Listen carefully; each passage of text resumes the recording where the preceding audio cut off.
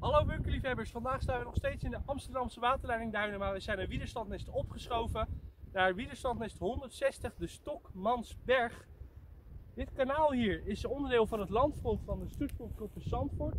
En dat was voor de Duitsers een gratis tankgracht, dus dat hoeven ze niet aan te leggen.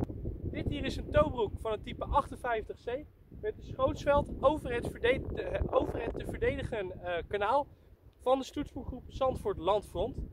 En dit is de toobroek hij is ook genummerd.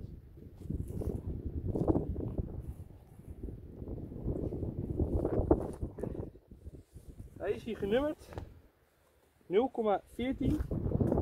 en de, het stoeltje, tafeltje, het zijn tafeltjes, die zitten nog in. Ik uh, neem jullie wel even mee naar binnen. Kijk, hier zit het stoeltje er nog in. Uniek. En dan zit hier beneden een kleine munitie met de ingang.